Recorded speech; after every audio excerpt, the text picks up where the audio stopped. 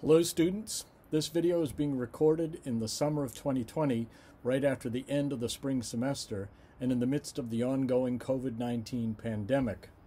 Since we do not yet know for sure what format our classes will take in the fall, and since there's some likelihood that at least some of us, both students and faculty, will have to be away from campus for a time should the mitigation plans prove ineffective or should compliance with or enforcement of public health guidelines prove impossible, I am preparing a video version of each of my lectures for the class to have it ready if and when it is needed. It's also the case that necessary distancing requirements in the classrooms may make it impossible that the entire class can be in the same room at the same time. In that case, those whose turn it is to stay away from campus may find these video lectures a better option than relying on a live classroom feed via Zoom or some other technology. So if you're watching this video, it means that we are, for reasons of public and personal health, still unable to meet together in a traditional face-to-face -face classroom format. All the same, I'll continue to do my best to teach you what I know with whatever tools I have at my disposal. Enjoy the lecture. So in this presentation, I want to talk about the second of your writing assignments, which is the value argument. So your second writing assignment is going to be a value argument brief. And remember that a brief is a detailed outline that shows the structure of your reasoning. And in this case, it shows your reasoning in support of a value claim. You'll find detailed instructions for the assignment on Canvas, and you'll also find there the list of 50 value propositions. You'll need to select one from that list of 50. Uh, no two students may do the same proposition, so you may not select a proposition that's already been selected. So each individual student has their own proposition. And then once you select a proposition, you then need to select a value object to fill in the blank, that is to complete the proposition. So you have a full statement that serves as the claim to which your whole value argument goes in support. So for example, if you look down the list of propositions here, you'll see, uh, for, for instance, number 13, the best beer ever brewed is, and you can complete that sentence, that claim, by filling in any value object from the category of beers. You could fill in Bud Light, you could fill in Shipyard IPA, you could fill in Guinness, whatever is your selection for the value object that completes the claim, you can select. You have now your completed proposition and becomes the conclusion or uh, ultimate proposition of your value argument. So a value argument is an argument made in support of a value claim. And recall that a value claim is a statement that advances an opinion or a judgment about the worth or the value of something. It claims that the value object about which it makes the claim is good, better, right, just, beautiful, sinful, effective, legal, horrible, ethical, justifiable, worse. And if you go back and look at that list of propositions, you'll find that many of them contain one of those kinds of adjectives the best, the funniest, the most beautiful, the worst, that kind of thing, because each of them is a value proposition. So for your value uh, argument, you will choose the particular value proposition from the list and you'll complete the proposition by filling in a value object of your choice selected from the category to which the proposition refers.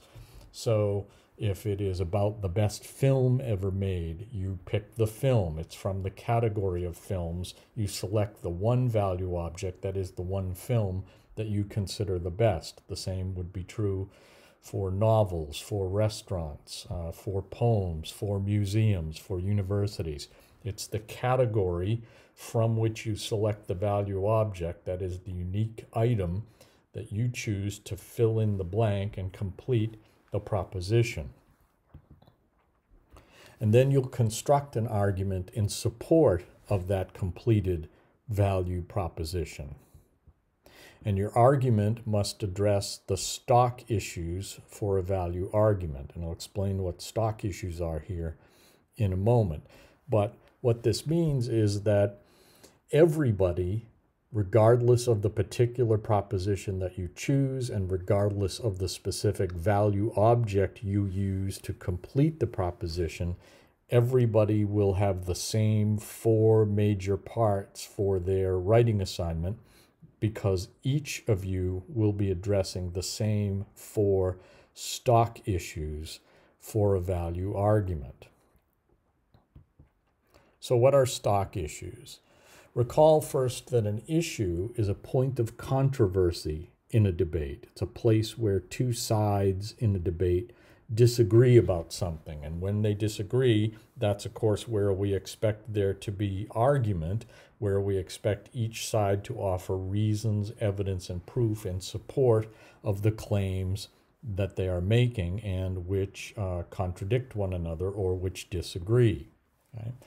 So when an arguer advances a value proposition, we expect certain essential issues to arise, and this is what we call the stock issues. That is, these are the standard points of controversy in a debate over a value claim, right?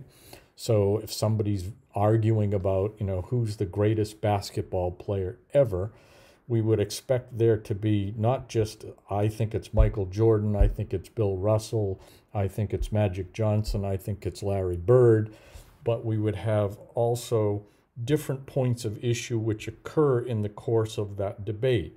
We would talk about, for instance, the perspectives from which to judge the greatest basketball player. We would talk about the criteria with which we would judge the greatest basketball player. And each of these forms a potential point of controversy or issue in the debate.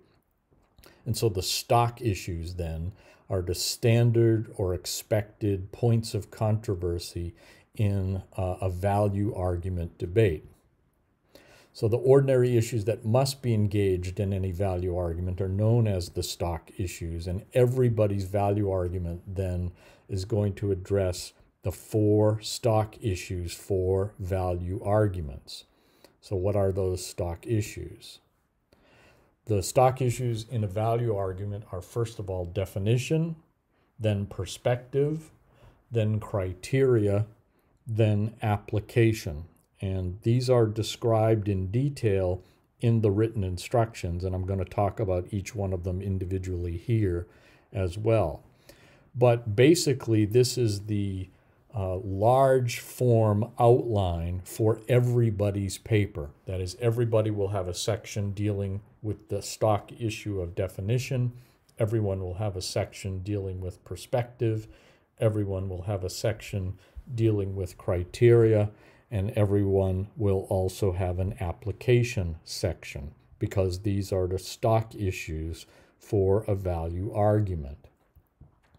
So let's review these individually. The first one is definition. So in the definition section, you are identifying the key terms in your argument and you're offering clear definitions of them and of any other term about which there might be some disagreement.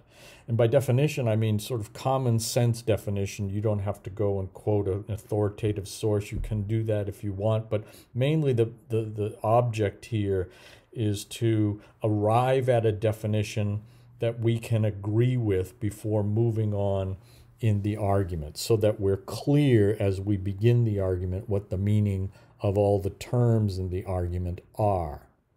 So, the point of addressing the first stock issue clearly is to establish that agreed upon starting point for the rest of the argument. What do you mean by each of the key terms in your proposition? Because if we do not understand or begin with an agreement about the meaning of the key terms and the logical categories those terms represent, then we cannot proceed to argue about propositions consisting of those terms. So if I want to say something about the greatest restaurant in America. Okay. Well, I would want to first define what restaurant means. Do I mean a place where we where we go in and sit down and dine, or could it also include sort of drive-through establishments like McDonald's or something, right? And so to avoid any possible point of ambiguity or confusion, right?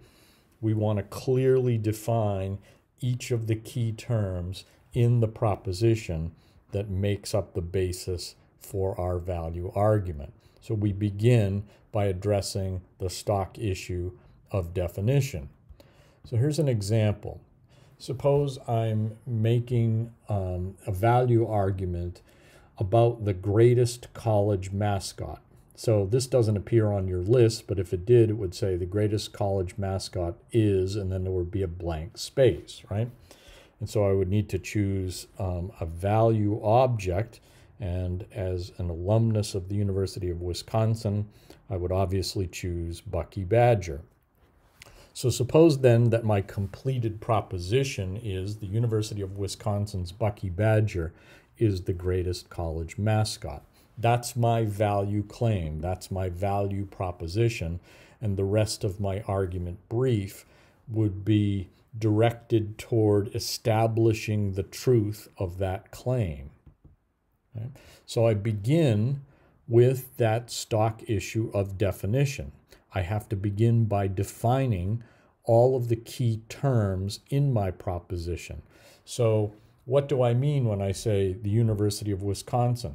Just to be sure we agree that I'm referring only to the main campus in Madison and not, for instance, some of the regional campuses such as those at Stevens Point or Eau Claire or Superior or some other town in Wisconsin. And then I want to explain who Bucky Badger is, giving some background, some history, some facts about his origin, um, where uh, people at the university are likely to encounter him at the football games, at the ice hockey games, at the basketball games, and at other events on campus, right? So, just so everybody is clear who it is or what it is we're talking about when we refer to Bucky Badger. And then I want to clearly define the category from which my value object has been selected. And in this case, the category is college mascots. So, what do we mean when we talk about a college mascot? And in in my argument uh, in that definition section, I would be sure that to, that everyone understands we're referring to four-year colleges and to those fictional or iconic characters who serve as representatives of the college and whose main function is to encourage the success of athletic teams and to entertain fans at college games. Now, this some of this may seem like common sense, but we do it anyway. We go through the exercise of defining the key terms because the the first step in any argument is to is to have a understanding about each of the terms in any major proposition.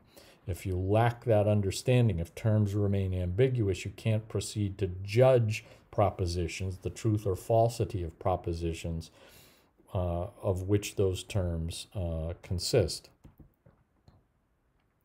So the second um, of the stock issues is the perspective issue. And in addressing this second stock issue of perspective, here you're offering an argument in favor of approaching your particular value judgment from a given disciplinary or professional perspective or field.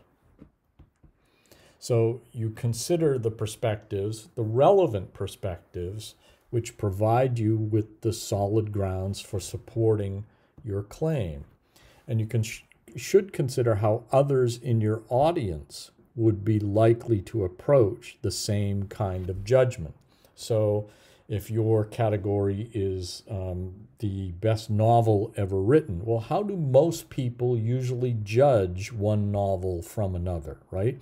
So consider the perspectives that members of your audience would take for making the same kind of judgment. And here's the key thing the perspective that you select, or the perspectives, because you'll want to have more than one, The perspective is must be able to be applied to any judgment of the sort you are making, not merely to the particular value object you have chosen. So the key thing in uh, choosing perspectives is to select one that uh, allows you to avoid making a circular argument. Okay, you want to have a fair uh, and objective assessment of the various possible nominees from the category, which could be selected as the value object. So you have to have perspectives which can be applied fairly to any of the objects in the category.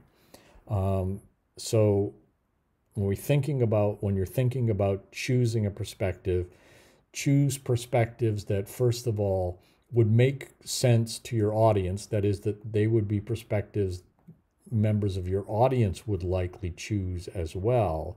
And also be sure that whatever perspective you select, it could be applied not just to your chosen value object, but to any object in the category. So, for instance, suppose my argument is about the best candy bar. There are different perspectives from which you could judge a candy bar. You could, for instance, talk about it from, um, let's say, a confectionery perspective. That is, how is the candy bar made? What are its ingredients? How does it taste, right?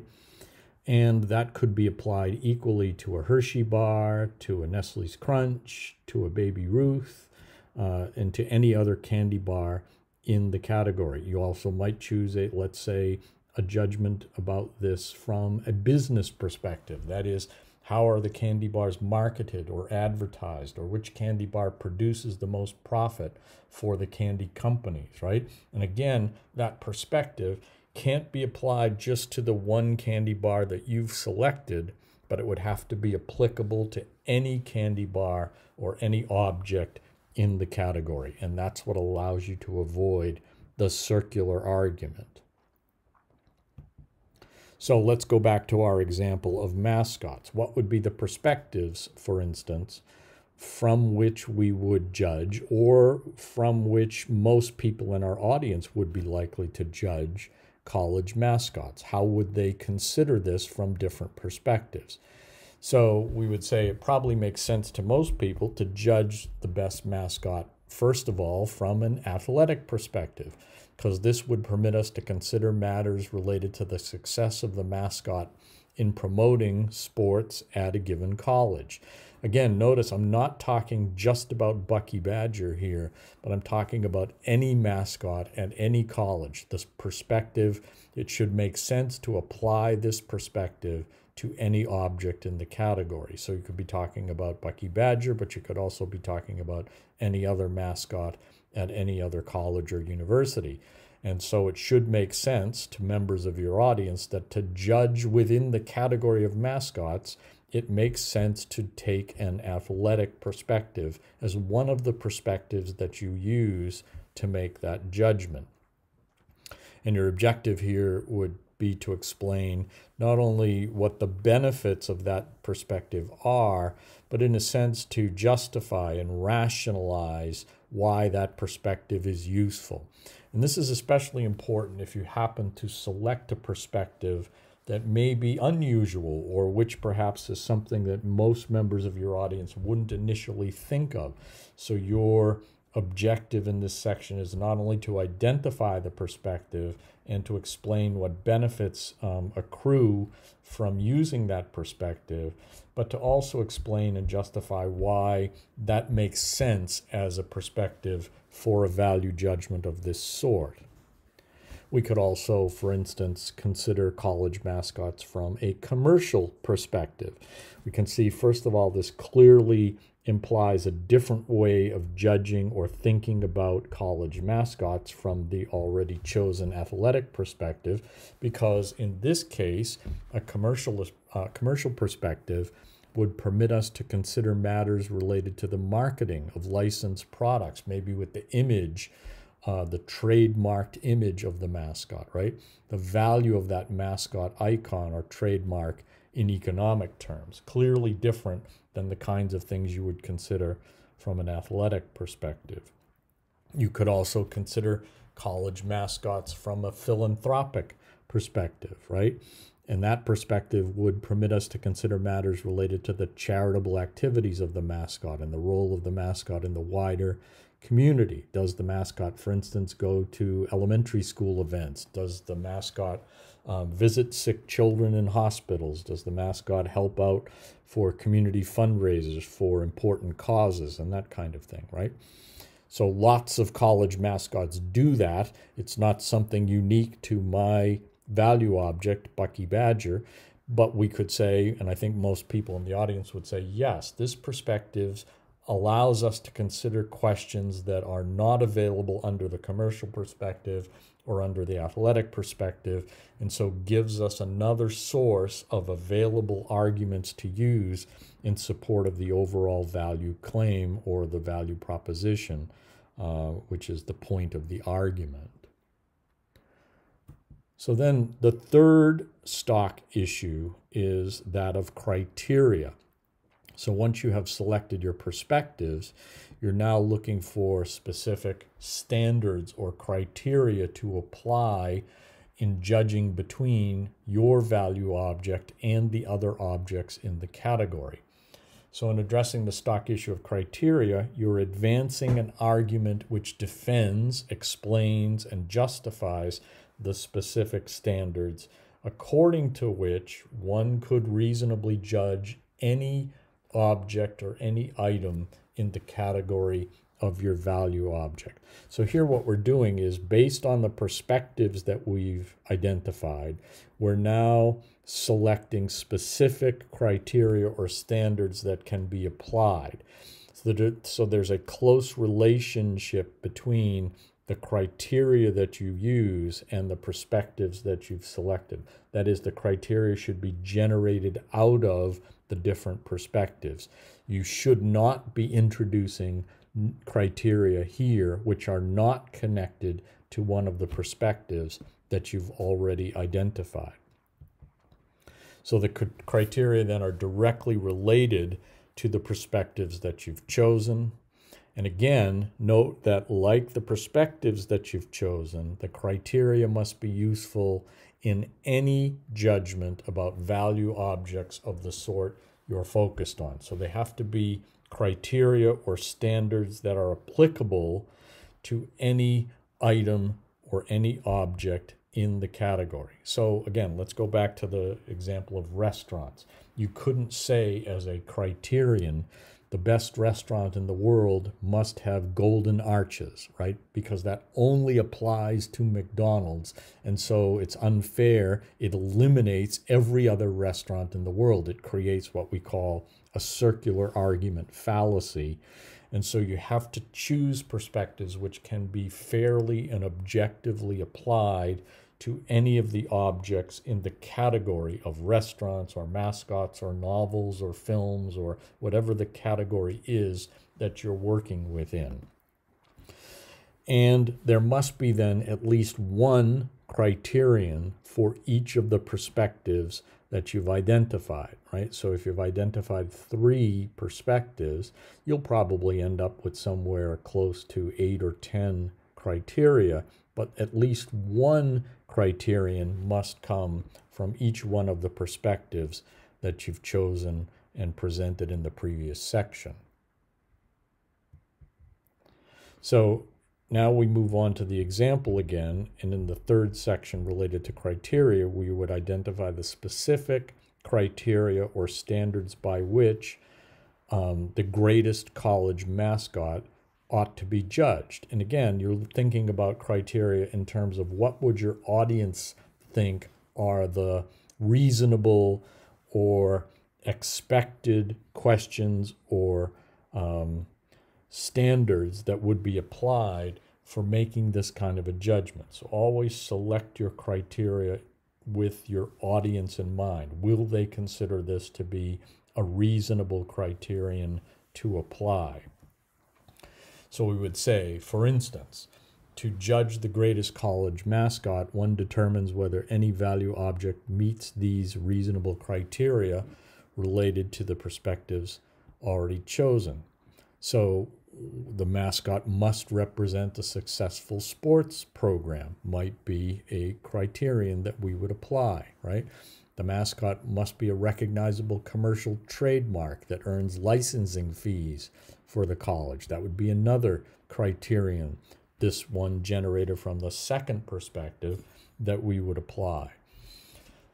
The greatest mascot must also participate in charitable and community events at schools and hospitals. And you can generate, of course, much more than three. I've used three here as an example, one each for each of the perspectives. But from uh, any of the perspectives, you might generate two or three or four different criteria. So the, again, the key thing is to avoid that circular argument.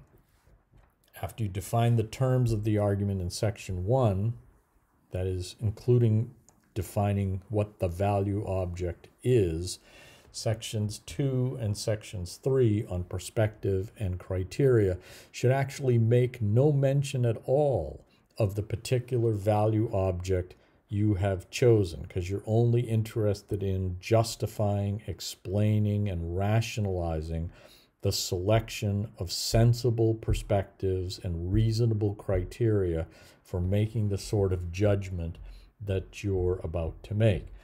So, again, if we go back to the example of the greatest basketball player, right? We might say at the beginning the greatest basketball player was Bill Russell, uh, formerly of the Boston Celtics. Um, and so, what perspectives would you choose in judging the greatest basketball player? Perhaps you would select uh, the perspective of statistics, right? Basketball statistics. Perhaps you would select um, the perspective of team leadership, right? And you would generate from each of those perspectives different criteria, right? So, um, does the person hold an all time record in important uh, scoring categories or defensive categories in basketball? Uh, that might be a specific criterion from that first perspective. Or we might say whether or not the person was recognized beyond the sport of basketball as being an important community leader, right? So that would be a criterion generated from that second perspective but you have to have criteria and perspectives that are not focused just on the value object you've chosen, but which are applicable fairly to any other object in the category. So you choose perspectives and criteria which are useful in judging any member of the category to which your value object belongs.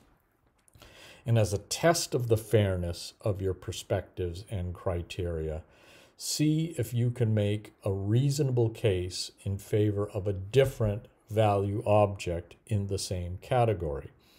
So if you think the greatest comedy film of all time is Animal House, right, you can construct your argument, but to be sure that you're avoiding a circular argument, take those same perspectives and same criteria and now apply them to some other great comedy film, maybe Blazing Saddles or another one, right?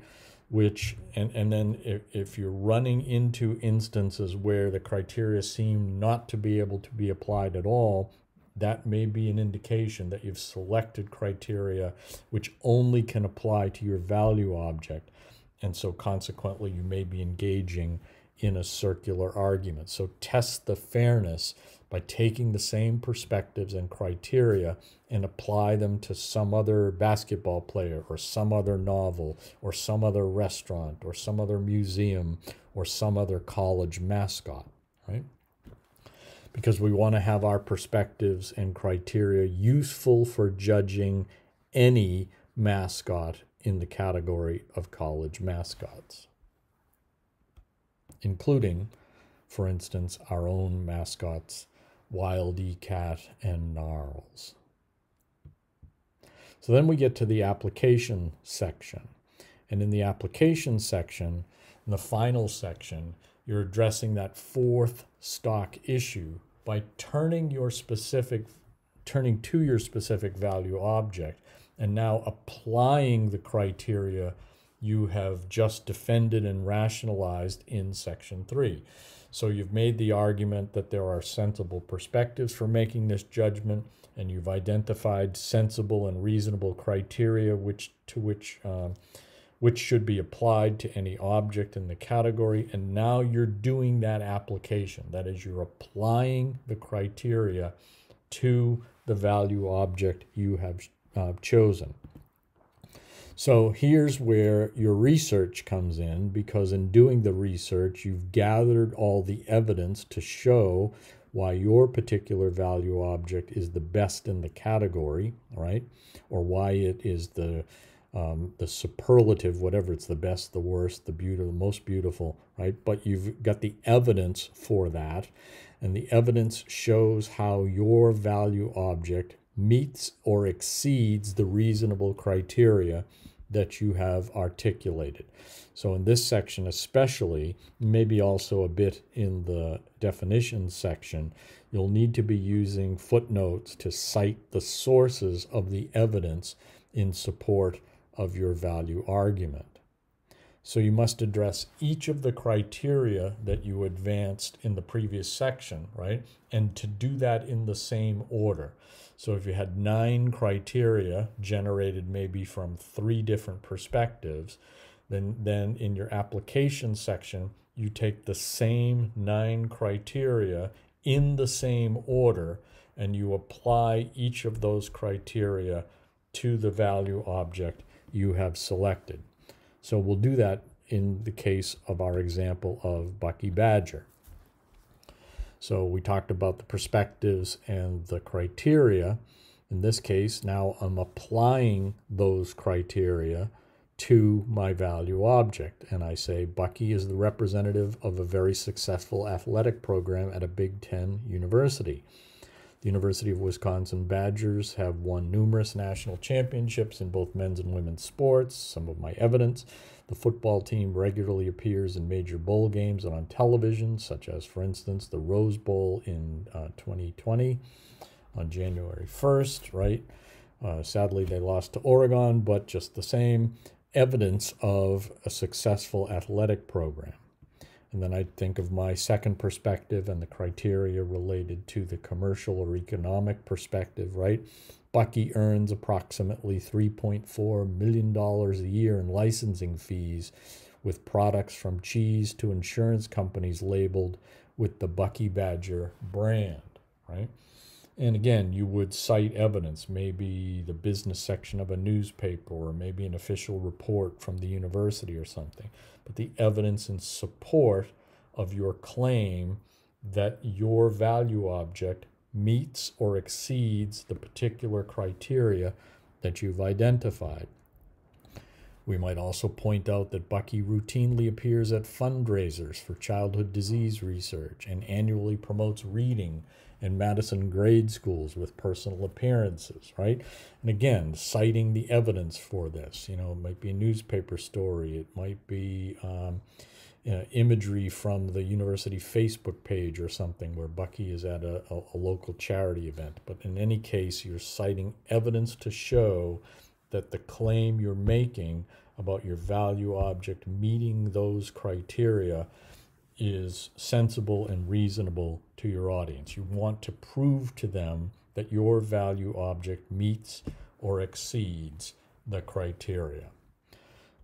So that wraps up the uh, discussion of the value argument brief.